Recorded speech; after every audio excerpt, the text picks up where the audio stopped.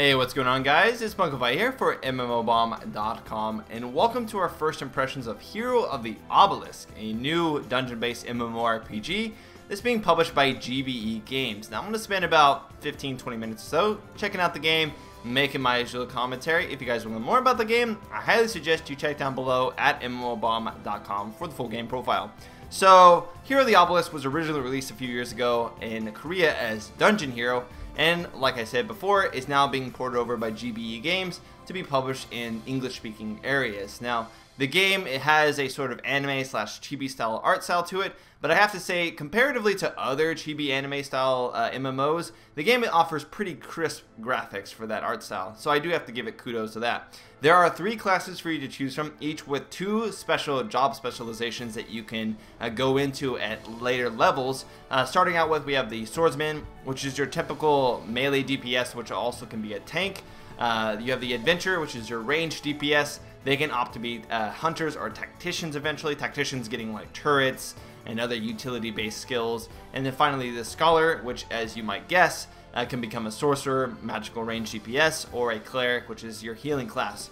In terms of customization cosmetically, um, of course you can choose between male and female, no sort of character, class, uh, racial, uh, sex, whatever you want to call it, nothing like that in terms of restrictions. Uh, but you do get to choose from different face and hair styles as well as the colors of the, the skin tones and the hair itself. Unfortunately, when it says face, you really don't get that too many options. You can change basically the style of eyes along with a little bit of the mouth, uh, but it's basically what you would expect with most chibi anime style MMOs.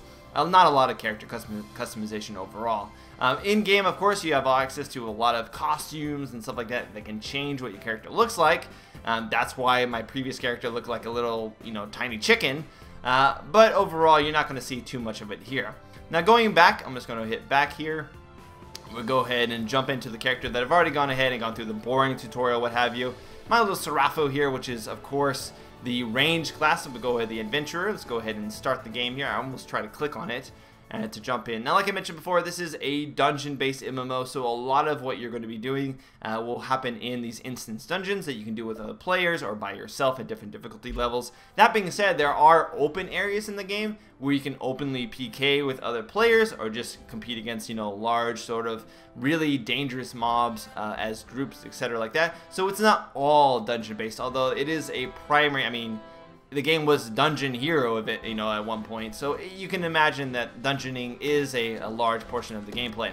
Now, if I'm bringing open the map by hitting M here, you'll notice this is sort of the main town that you start in, Trinzel. Uh, on the map, you can see all the different sort of uh, mailboxes and the quest givers, etc. One of the main features that I find really nice is that if I say click on one of these things right here, it automatically will take me to it without me sort of clicking on on the map, if you will, you know, clicking to move to there. I can just sort of click on an individualistic area or icon for it to take me directly to that.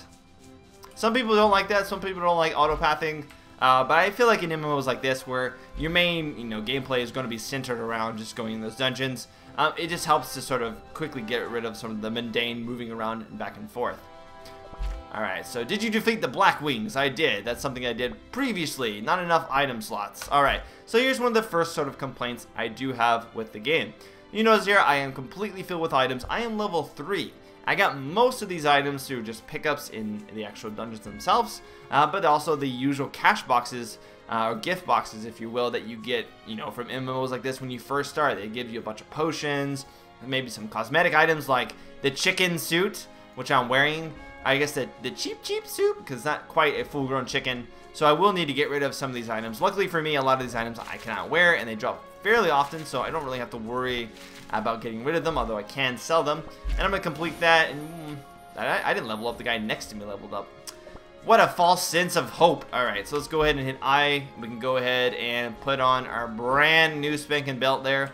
Alright, so you can't really tell because I am wearing a cosmetic item, but if I brought up in my character here, uh, I should be able to just simply say, hey, I want to take those off, so you can get an idea of what my character looks without those awesome little items. Of course, those don't really affect your stats or anything like that. They're mostly cosmetic here, but you can get a general overview of all of your character's stats, their attack damage, etc. just by looking down here with even more detailed information by hitting detail. Alright. So in this hub here, I'm going to go ahead jump on over to here, this warrior class master area. appears I have a class, or a, a quest, rather, to turn in. So we're going to jump up here as we go. Now, in terms of like movement, uh, you can click to move, you can use WASD to move. In fact, in the dungeons, I primarily use that. Um, but unfortunately, you can't turn off the click movement, as I've seen so far, which means you'll often try to click on something, and you'll end up just moving because you're like trying to click on this guy and be like, okay, I want to talk on talk to you, but I can't actually reach you. I would have liked to have seen like E to talk or F to talk to someone, especially if you're going to be using the keyboard a lot to move around and use your skills. But it looks like I can finally choose what items I want. Um, I'm going to go with, say, just complete. Not enough item slots. Stop you with the items. All right, so let's go ahead and get rid of this. Go ahead and get rid of this. I guess I'll put my chicken suit back on since it apparently takes up item slots. You do get two other uh, tabs here, one for gift boxes that you get and one for quest items. So luckily quest items do not take up the space.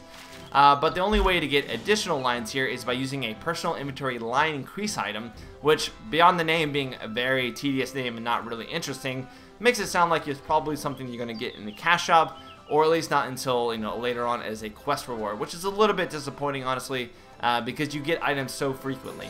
Alright, so we'll go ahead and uh, choose some new quest here. Looks like we gotta kill the Krogers. They've been running amok, if they will. And let's see if I can accept this. Just, just gonna have to kill a bunch of Krogers, it looks like. We have a lot of sort of hate for the Krogers in this area, it seems. And I cannot use this item until level 4, unfortunately. Two items I cannot use to level 4. And I'm just gonna go ahead and throw these out here if you if I so choose. Alright, so I got two new items. Can't use either of them until level 4, which is alright. Now, in order for me to go to the questing areas, all I have to do is click on one of these dungeon entrances. Unfortunately, what I find is that because of the fact that you have to click on everything to activate it, like even the dungeon entrances, you have to click on it to go through. I can't just run through. Uh, what I find is that it's a necessary amount of clicking, and it brings open just too many dialogue boxes for you to click and you know it just kind of clutters up the screen I would have liked for just an easy E or F button or even just running through you know dungeon portals in order for you to go so this is the area where you select which sort of instance area to begin with like I said before the game has made mention to open PK areas open world areas with mobs and stuff so being in dungeons isn't going to be the only part of it but it is sort of a main part of it Alright, so I'm gonna go here. Queer, quite, I don't even know how to pronounce that. Queer heel, queer heels. I can join a party if I so choose. You can even see the current ranking, who's done it the quickest. And I'm just gonna enter it though uh, as my solo self here and see what is up. Now, in terms of the difficulty, obviously there are different sort of instances or tiers of difficulty to start with. Everybody starts at the primary tier, and this is one of the first things I want to bring out, this fact that the game doesn't look too bad. I mean, it's not aesthetically just like terrible. It's just not necessarily something uh, that is for everybody, if you will. Monsters themselves, I can kill baby armadillos, which, why am I killing baby armadillos? Come on, that, they're armadillos, they're so cute. But I can also kill newbie bat caves here. Throw down an AoE skill, which blows up all of them with grenades. Never cannot have too many grenades there. And then my three skill here is like an AoE sort of like kick around me. Now, they, they tout the combat as action-based combat. Is that guy throwing twigs at me? Or they look like arrows, but they're like twigs. It, it's touted as action-based combat, but in reality, guys, it's it's it's tab targeting, you know? You get a lot of AoE-based skills, so you can always deal with these guys pretty effectively in AoE. Uh, but your skills are primarily, you know, you tab between the two of them, and uh, your character will walk up in order to get in range in order to use certain skills. Oh, I'm gonna die. Let's go ahead and use a potion. Potions are very strong in the game.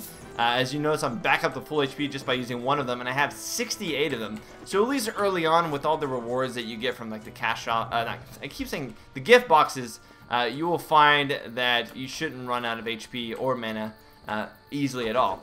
You notice here I can actually destroy some of these boxes, which is pretty cool. You get up to these higher areas here in order for you to, I think, I, yeah, I ended up hitting that guy on the ground. Uh, in order to get to these awesome little treasure boxes, in order uh, to pick those up for rewards, you can also mine or harvest things like these mushrooms or the crystals themselves to get uh, items for you to use in the crafting. You can craft things like weapons and uh, different types of armor and alchemy, you know, potions, etc. Much like you could in any other MMOs using professions. Uh, they're called elite skills uh, later on in the game. You don't access those, I believe, until starting at level 10. Alright here. So just to quickly clear these guys out. No problem here. Academy Spellbook. I'd like to pick that up because I don't know what that is. Alright, so what is the Academy Spellbook? Alright, it looks like this is something again for the Scholar. Unfortunately, everything's for Scholar. I've noticed I've gotten more items for Scholars and for other classes than I have myself. Of course, class rewards are also given, you know, through quest rewards, etc. Alright, so let's go ahead and kill this thing here. Now, it does do a good job of telling you when you need to kill a, a certain particular type of monster uh, for a quest. It'll have quests indicated above it. So if you're going for like a, a time challenge, you can quickly just bypass the ones that you don't need. Although, honestly, I just sort of group them all up together here. Let's see how well this will work, guys. We're gonna we're gonna just group these up right here. Come on. We'll make this a little challenging, guys. Alright, so come over here. Okay, come on, come on. There, knock those back. Alright, throw the grenade down. There we go. Look at it. So easy. Just kill everything. No problem. Now, what is cool, again, it's all about the cleave. Even your auto attacks, which is one, you can either hit one once in order for you to continuously auto attack, or you can just mash it. Uh, they will cleave as well if there are nearby enemies, so you can hit multiple characters if they're close enough, which is nice. But again, I mean, sort of boring in 2013, late 2013, just to be tab targeting through everything, especially for instance-based dungeons like this game, games like this. I can understand that, you know, people aren't always in it for the, the combat so much, uh, but I feel like when you have instance-based combat like this, you have a lot more freedom to do crazy things, and I think it's a good opportunity to, for developers to do so uh, without, you know, basically without having, you know, resorting to gameplay like this. No matter how cute your game is, if the gameplay is a little bit substandard, um, you're going to have a hard time keeping players interested. Because imagine if I have to hit one or just use these skills. I mean, I've, I had the same four skills for three levels now, and it's good the fact that it actually gives you multiple skills to work with at the get-go instead of just say, hey, you've got one skill along with your auto attack for the first four levels of the game.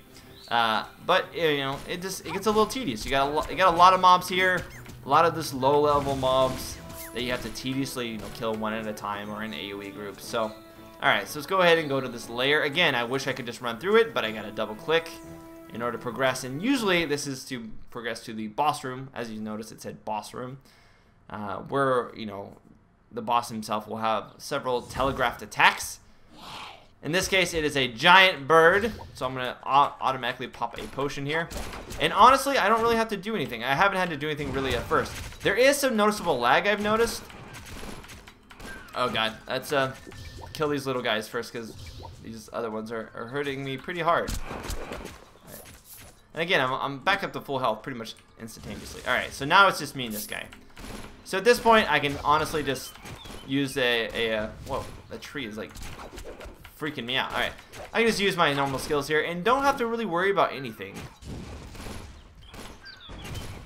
Any attacks you do, even the telegraphed attacks, honestly, don't do too much damage. And mean, again, this is the easiest, you know, dungeon, or the easiest level of the dungeon, rather. So I would assume if you play this with a group or uh, any higher difficulty, these would not uh, be so simple. But I like there to be challenge, even in the earlier parts of the game. You know, no one wants to just sit here and spam abilities, you know, and not have to worry about mechanics or anything like that. Let's go ahead and kill this guy. These guys seem to have an enormously amount, a large amount of HP, given the fact that they're leveled and the difficulty of how much damage they actually do, which is not very much. It kind of just seems like a, a long, tedious fight, you know, just a whatever. Mission failed! How did I kill 10 of all monsters? I...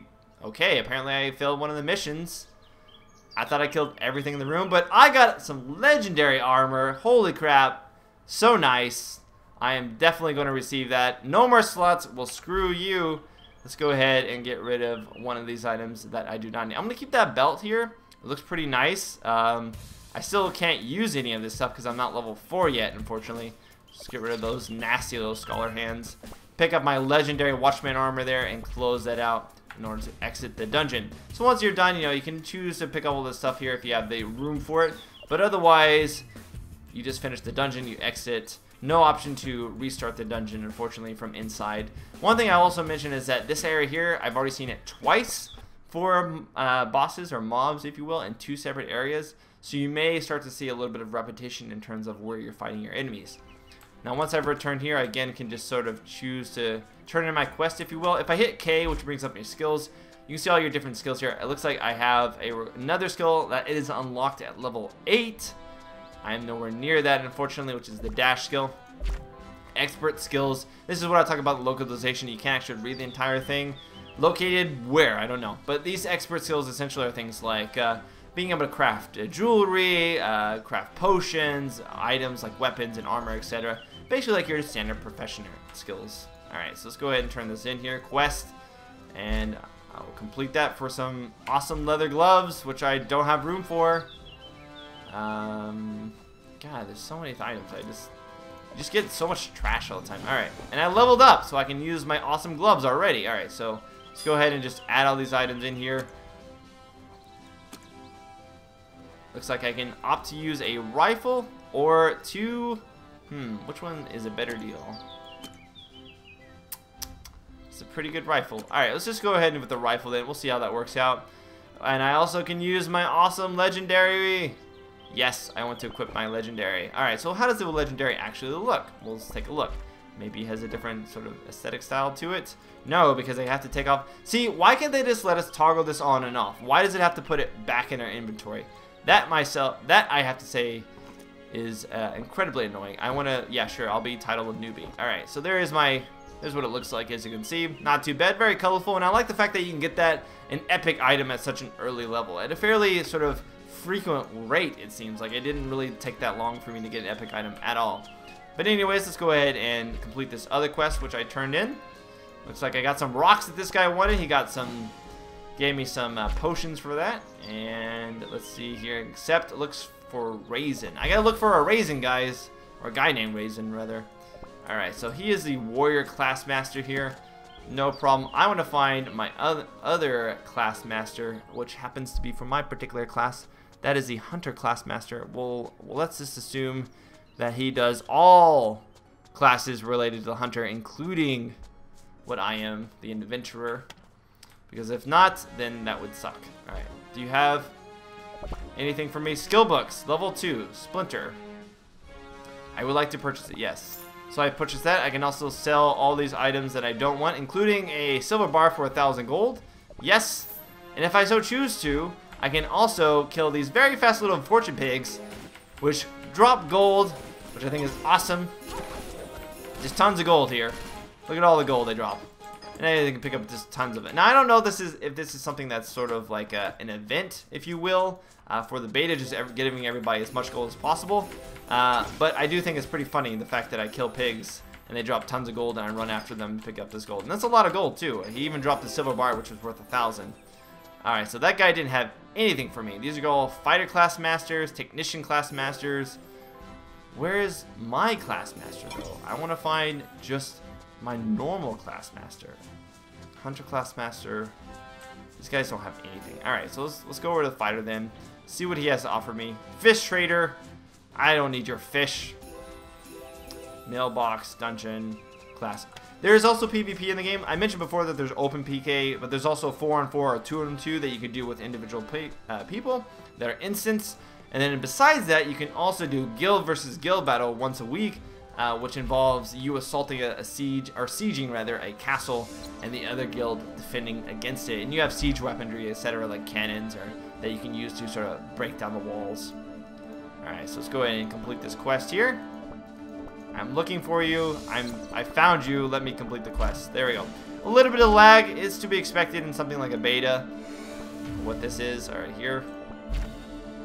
And again, most of the quests just involve you going back to certain dungeons, picking up items or killing certain quest uh, objective. Uh, oh, looks like I'm lagging out there a little bit. All right, let's go ahead and just exit that. That's something I've noticed. If, I, if I'm actually in a menu with these guys, I can't really move away from them. If I try to move away from them, uh, they'll just sort of like rubber band me back, unfortunately. So I, I, would rather just be able to quickly jump away and you know, continue on with my life, essentially. Alright, so I've gone ahead then and picked up all the relevant classes. So what I'll do is I will do one more dungeon here. I can actually go to this dungeon entrance right over there. Just to sort of show off a different area, what you can expect from a variety of dungeons. And then we'll probably wrap it up there for now. If I go down here to passive skills, you notice I can't even show passive skills, which is basically like the skill tree you would expect in most MMOs. You unlock that at level 10, uh, and that will allow you to sort of customize your character how you see fit. Alright, so there's the Mine Shaft, which is level 4. I will go ahead and go there. And I can click Join Party, which is pretty cool. Let's see exactly how the party system works. You can, of course, choose to uh, invite your friends, even have a friends list, if you will. Hey, hero comes. All right, so it looks like I'm with here. Here. Hey, Afir, how's it going? Are you there, Afir? Don't mind me, I'm just turning into a ball. Af, hey. Hey. You there?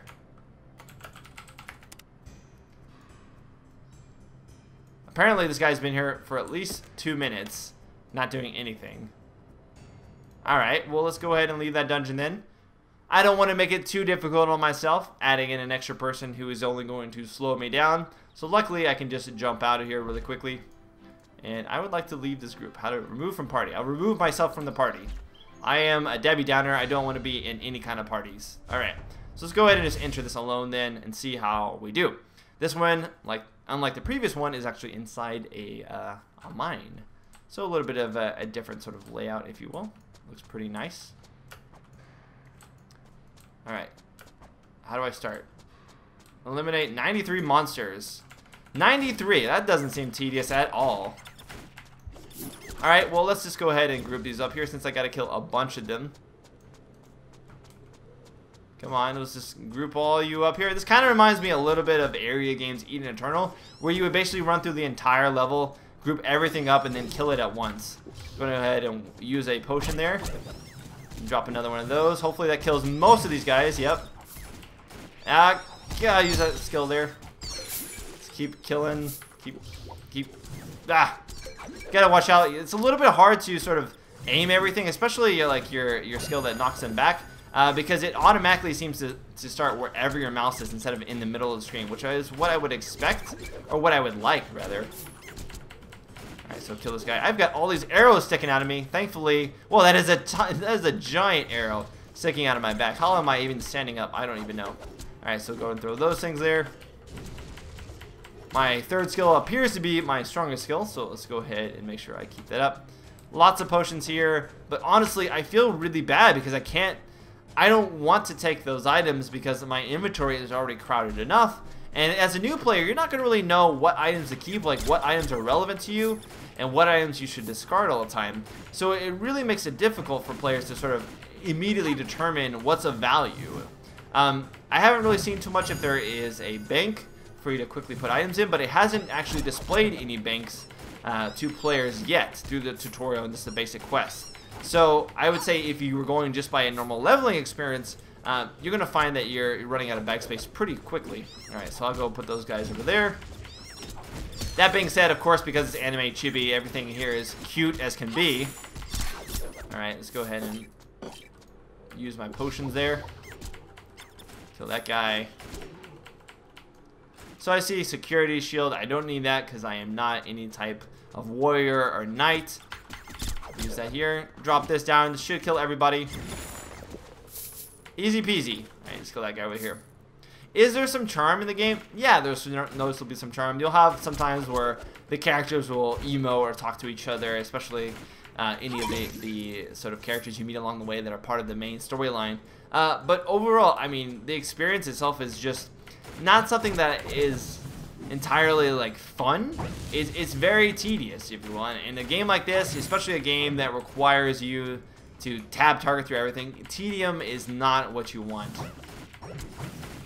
I feel it's just sort of like the, the difference again between the markets. You know, the, the Western market has a very distinct idea of what is fun and what they enjoy a lot of gameplay of versus the Eastern market who was like, hey, we, we really, really do not like tab target anymore. It's not really our, our thing. Specifically also like dungeon-based gameplay like this. Alright, so I have to eliminate 31 more monsters. I do like the fact that it actually keeps that track for you. So you're not like, how many am I until I, you know, I actually finish this up. Alright, so let's see how quickly I can actually kill these guys. It's gonna kill a lot of them real quickly.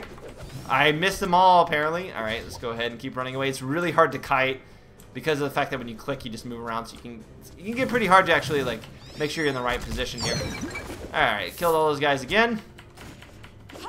Kill these guys here. Sorry, mine Namumu. What a name of mine Namumu. It looks like I need to eliminate 13 monsters still. Looks like there's some up here. Hopefully I don't have to backtrack too much. This looks like some kind of weird Disney World like roller coaster. Although I don't know what's going on here where that used to lead. Apparently now leads to a, a dead end into a wall. Always nice. Remind me never to get on any of those. Alright. So at this point, I need seven more. So there's three here. Easy enough to get rid of these three.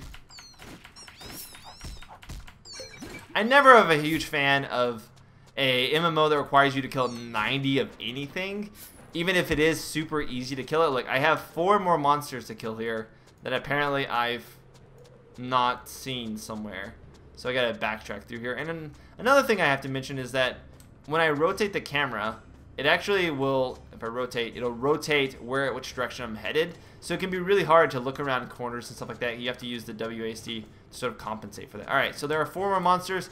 I'm assuming all those monsters are actually in the uh, boss area.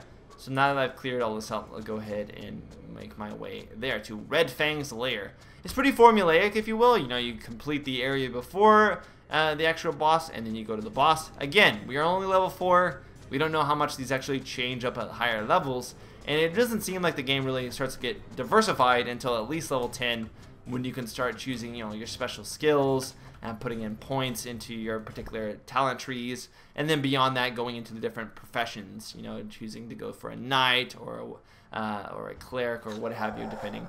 Apparently, Red Fang is a red rat. Who would have thought with the name Red Fang, he actually would have been red. Alright. We got a little lag there, just for a second. Alright, so first things first, just going to take these guys out here in the back. Always want to take out the back guys. They had unnecessary DPS for no reason. And I don't want to spend any skills on him or anything like that. Just kind of focus this guy. And again, pretty like formulaic. Yeah, I, I stand in one spot. He does occasionally a cleave or some kind of weird attack. And then I just stick here and use my potions. People would argue, oh, oh, you're gonna back kick me like that. What does that do? Duration, you will take damage over time. Oh, man. Alright, well, that's fine. I guess I just use these potions, which go off cooldown every six seconds. If they wanted to make it more challenging, they should either make them do more, you know, attack more often with their special skills, or, you know, increase the amount of time in between your actual pots, because Six seconds is, with the actual heal over time that it comes from them, is plenty of time to get back up to full health, and then to go through this whole rigmarole yet again, and not really have an issue killing him. But hey, I'm level 5. Yippee, look at me. Mission failed! I don't understand where those five other monsters are. I don't understand. I don't. It says killed five of all monsters. I killed everything on the screen, I guess. Somehow I still failed it. Alright, well, what am I going to get? Superior Watchman hat. I will take that. Receive that item here. No more slots, of course, as usual. I'm going to put that on there. I'll throw this one away. Alright. I have been distributed my dungeon items. Exit this. Yes, I will leave the dungeon as well. We'll throw that cap on, and then we'll probably call this first look finished. Alrighty, guys. So let me throw on my cap here. And I'll take off my little chicken head just so you guys can see that before we end it here. Alright there, so not too bad looking for level 4 I have to say. You do get pretty awesome looking gear at a fairly early level and rate. Down here though, we can see that even despite the fact that I've leveled up, there's even a fatigue system whereby you cannot, you know, continuously play in one day without probably purchasing eventually. That being said, the fatigue is only at 92%, and I've done probably at least an hour and a half worth of gameplay overall now, or at least an hour, I'd say. An hour of like really hardcore gameplay. So the fatigue system does take a while for you to run out, and if you're playing more than 14 hours a day, maybe you should just go do something else at that point. That being said, guys, I'm going to go ahead and conclude this first look for now. That's pretty much been all the major systems that I have to show you. Again, a lot of it comes out at level 10, where you can earn specialization skills, as well as do your passive skills. On the right hand side, you notice you have the cash shop, the friends list, gift box, options, and menus. Options, you don't get very many options. You can turn up and down the audio. You don't even get really a, chance to change the graphical settings other than the resolution and whether or not it's windowed. So if you have a lower-end PC and you find that this game may be struggling for you, you don't really get too many options for making that any better. Uh, but that's going to go ahead and be my first impressions here of Hero of the Obelisk. If you guys want to learn more, like I said before, check down below at mmobomb.com for the full game profile. Until next time, guys, it's been Spunkify. Spunkify out. Later, guys. I want to cheer. That's not cheering. That's dancing. There we go. Later, guys.